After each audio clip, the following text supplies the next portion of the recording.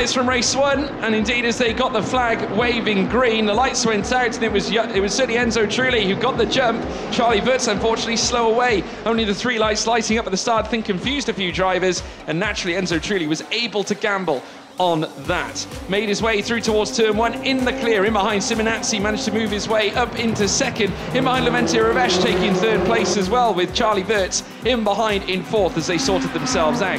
They made their way through. Charlie Wurz was on a recovery mission. He certainly did deliver as well. Made his way through this circuit and this race in hot pursuit of Levente Révész. Eventually, plumbing to make the move was Noel Leone. This time on car number 26 belonged to Jakob Bergmeister. Wurz though determined as ever, trying to unlock the chance of another podium to add to his locker, of course. Former race winner, he was looking to perhaps achieve greater exploits. Made his way down the inside of Levente Révész towards turn one and managed to really make the move in great style and then gave chase to the cars ahead. We saw Enzo Trulli, of course, consolidating his lead up at the front end. Charlie Wurz would then try and pull off and did succeed in pulling off a sensational move on Francesco Simonazzi. A stunning outside to inside move out of turn one and turn two would grant him P2 on the circuit.